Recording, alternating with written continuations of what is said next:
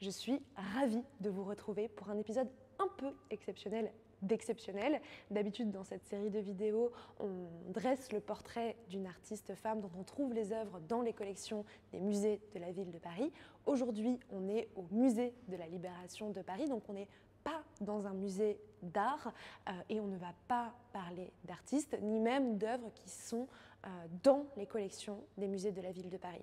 En effet, il se tient ici, donc au musée de la Libération de Paris, une euh, exposition de huit photographes de guerre. On ne va donc pas parler d'art dans cette vidéo, mais de photographie de guerre, qui est un genre qui soulève énormément de questions. Alors, des questions passionnantes, mais euh, qui ont rendu, je vous l'avoue, l'écriture de cette vidéo très compliquée puisqu'elle touche à des valeurs qui sont très importantes pour moi. On peut se demander en visitant euh, l'exposition quelles questions éthiques sont soulevées par cette pratique qui consiste en fait à capturer l'image de populations blessées, réduites à des conditions indignes et humiliantes quel message veut être transmis par le ou la photographe, mais aussi quel message veut être transmis par ceux ou celles qui commandent et qui sélectionnent les images publiées. Alors, il y a certaines images évidemment qui ont permis des changements radicaux dans l'opinion publique. Par exemple, dans l'exposition, euh, on voit cette photographie de Françoise de Mulder qui a été prise lors du massacre du quartier de la Quarantaine à Beyrouth en 1976. Cette photo, à elle seule, traduit toute la complexité de la situation et offre surtout une autre vision des réfugiés palestiniens qui jusque-là étaient perçus euh, avant tout comme euh, belliqueux.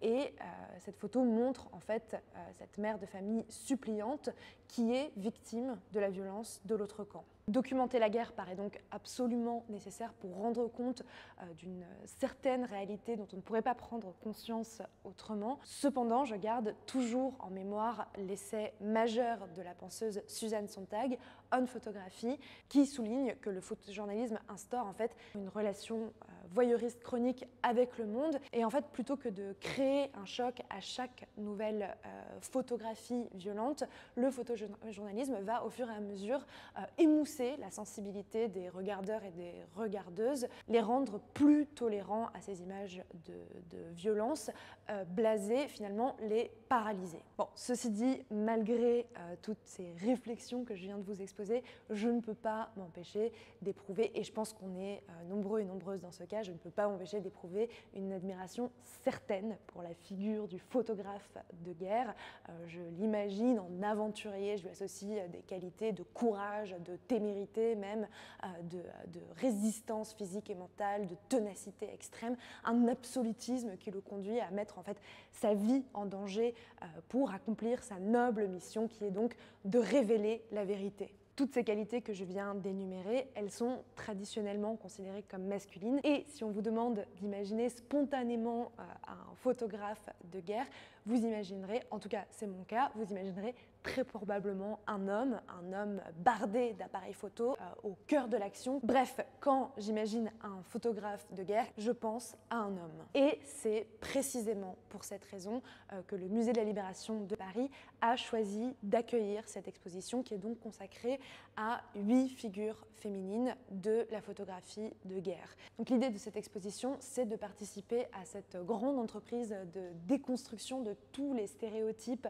euh, qui limitent, qui empêche les femmes d'accéder à toutes les sphères de la société, en montrant en fait des exemples de femmes photographes qui tout au long du XXe et du XXIe siècle euh, ont montré la même détermination, le même courage et surtout le même talent que leurs euh, confrères, euh, l'exposition contribue à changer les imaginaires. Les difficultés qu'ont rencontrées ces photographes sont mises en évidence dans l'exposition, elles sont plus encore développées dans le catalogue de l'exposition. En effet, hein, la photographie de guerre existe depuis euh, le tout début des expérimentations avec ce médium, donc euh, le milieu du 19e siècle, mais la première fois qu'une femme a été accréditée pour photographier un conflit, c'était pendant la guerre 14-18. Pendant cette guerre, l'Autrichienne Alice Schalek était la seule femme officiellement autorisée à suivre les, soldats pendant ce conflit.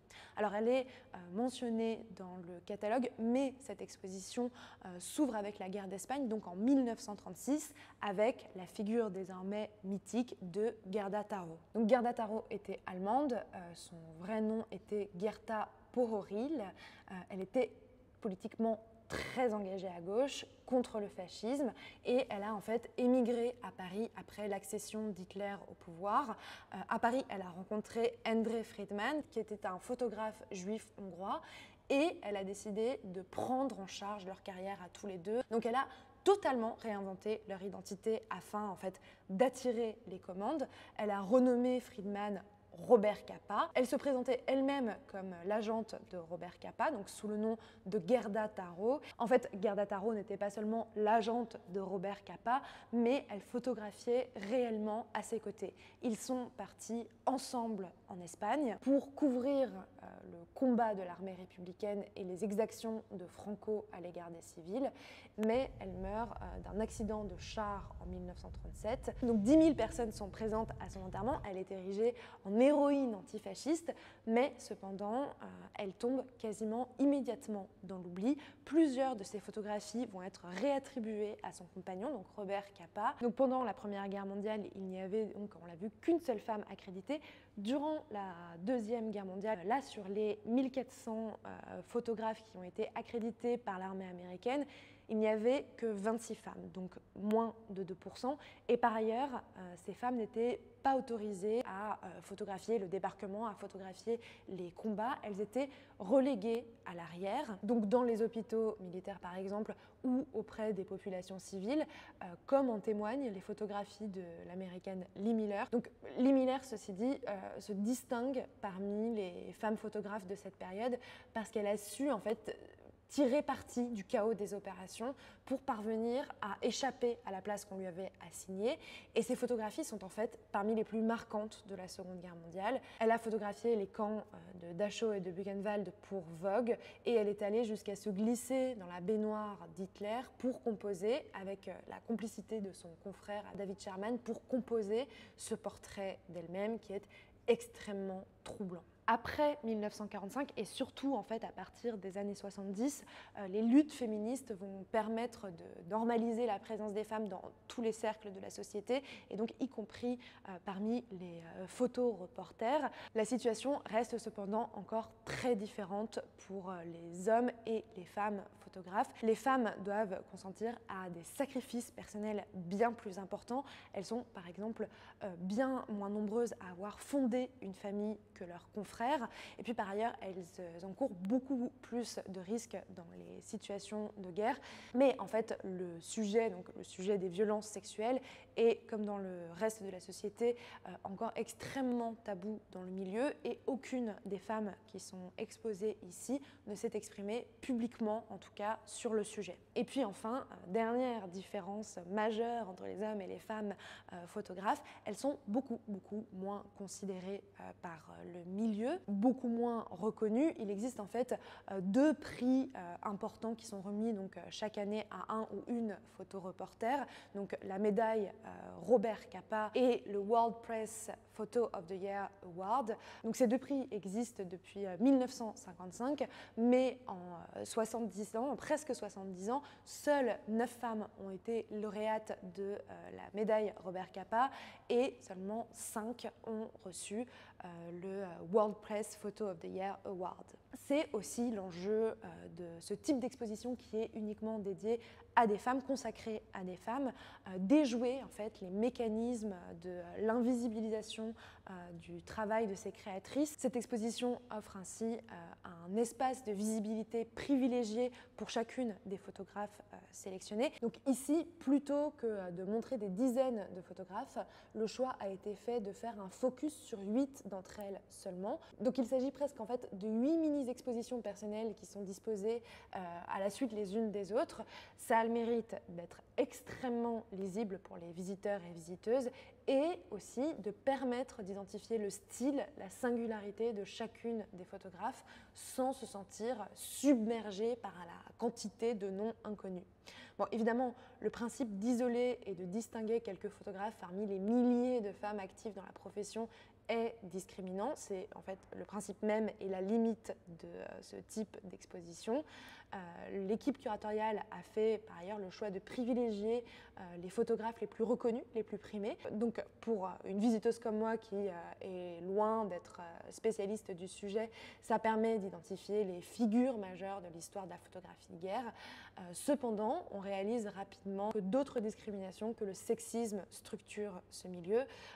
ainsi, quand on lit les biographies de chacune d'entre elles, on comprend que les photographes les plus reconnus euh, encore aujourd'hui sont toutes européennes ou américaines, blanches et issues de milieux relativement privilégiés, parfois même très privilégiés. Ça pose la question du point de vue duquel sont représentés les conflits mondiaux, donc uniquement occidental, et des biais que cela implique.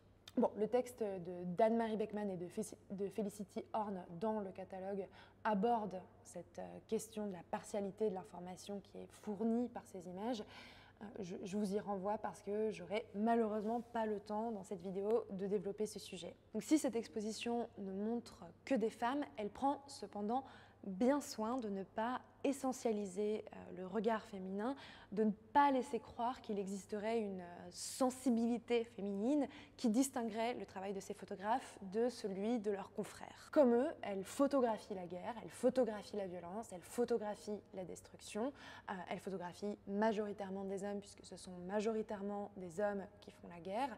Et si les sujets auxquels elles ont accès diffèrent parfois, c'est en raison en fait des stéréotypes positifs ou négatifs qui sont attribués à leur genre. Donc on l'a vu, euh, si Lee Miller a davantage photographié le rôle des femmes dans la guerre, c'est parce que en fait, en tant que femme, elle n'avait pas accès au front. Et puis, si l'on voit parfois beaucoup de civils, et notamment beaucoup de femmes et d'enfants dans l'exposition, c'est parce qu'en fait, du fait de leur genre, ces photographes apparaissent comme inoffensives et parviennent à euh, instaurer plus facilement euh, une certaine confiance avec leur sujet, parviennent à approcher plus facilement leur sujet. Parmi les femmes qui sont exposées, en fait, seule la française Christine Spengler revendique euh, le parti pris de représenter ceux et celles qu'elle appelle les opprimés, euh, de les représenter eux et elles plutôt que les combattants. C'est euh, dans la partie qui lui est consacrée qu'on voit le plus de femmes et d'enfants. Cette exposition ne montre pas un regard féminin euh, sur la guerre en fait, mais elle montre euh, la contribution des femmes euh, au genre de la photographie de guerre. En fait, devant nos yeux, on voit l'évolution de la photographie de guerre. Et parmi ces évolutions, l'une de celles qui m'a le plus marquée, je dois dire, c'est la soudaine irruption de la couleur. En fait, pendant des décennies, la guerre a été photographiée en noir et blanc. En fait, ça aurait pu paraître indécent de parer ces images de couleur. elles auraient peut-être pu perdre de leur puissance dramatique. Euh, et puis, en fait, soudain, il y a l'éruption euh, des photos de Suzanne Meislas dans, l'exposition. Euh, Suzanne Meislas qui a photographié le conflit au Nicaragua entre 78 et 79. Et il semblait à cette photographe que la couleur était absolument nécessaire.